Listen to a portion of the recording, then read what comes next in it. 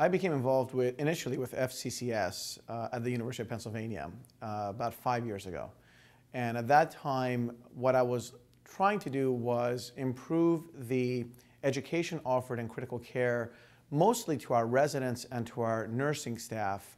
Uh, and I quickly realized that I didn't have really the time or the resources to sit down and write or create a well done, evidence based, fairly exhaustive curriculum for critical care.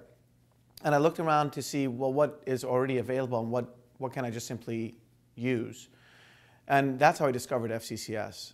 And I quickly realized that this course is readily adaptable, really to various degrees of um, personnel.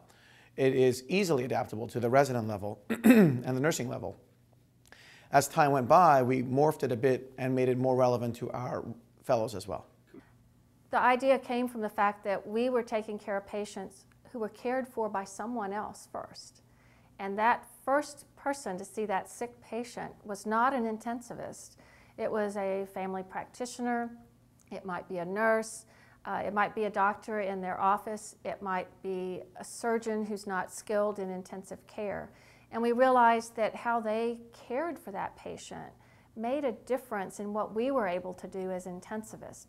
So we felt that this course would fill the gap of knowledge, giving that first responder the tools to take care of that patient and to get them to the ICU, to get them to the intensivist in better shape. The overall goal has always been to improve patient care and improve patient outcomes. The role for FCCS is typified by a story I recently heard from an instructor candidate that was in a course with me.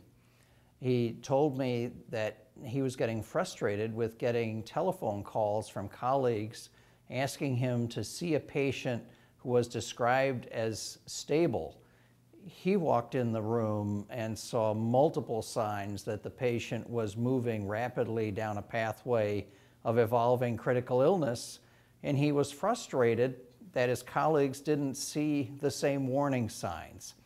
FCCS really has grown out of the recognition that there are some key warning signs that help us anticipate critical illness. You can take these basic principles and teach nurses, physicians, respiratory therapists, medical students on what is important in recognition of the critically ill or what is important when you're facing a disaster, whether it's a large scale disaster or whether it's a uh, 10 car pileup and you just happen to get 15 patients in your emergency room or in your hospital and you usually get only one or two. I think that it brings it, it breaks it down very uh, stepwise and we give in these courses a, a lot of material that can be used in a variety of ways.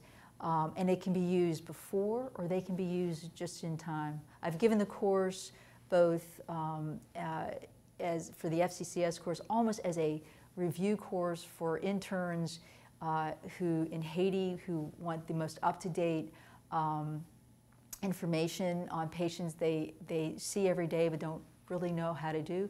I've given the course in short term preparing for a disaster on a, on a military hospital ship uh, recently uh, uh, in Haiti uh, after Hurricane Irene. So you can use it really any way you, you want. What we see on, at the time we do a course is the enthusiasm. The confidence that comes from this course, it says, you know, I can do that. We hear about it. We hear back from people saying, you know, everybody says we need this here, now we need it here.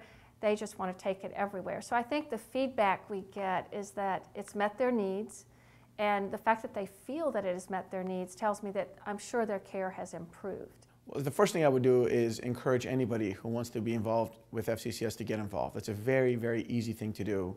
Uh, the Society's doors are wide open.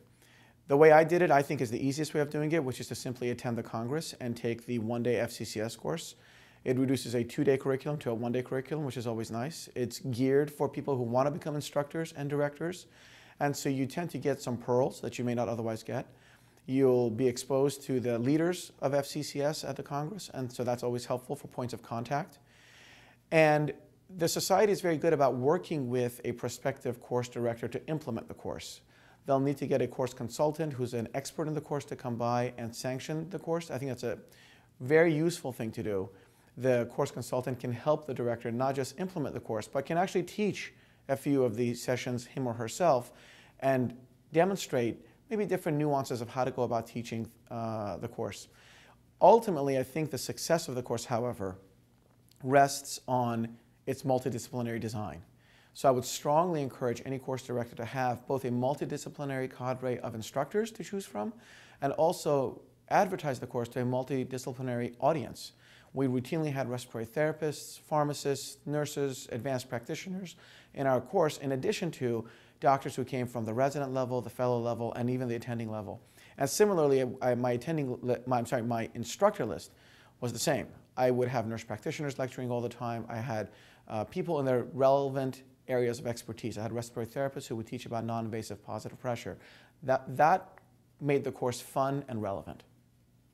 For me, I think that these courses are so useful, whether in the United States or in places where all they have is IV fluid and can take a pulse and they have nothing else. That still it translates for both places. Peter Safar from Pittsburgh, uh, one of uh, our idols at University of Pittsburgh, basically said it's an ICU. An ICU does not have walls.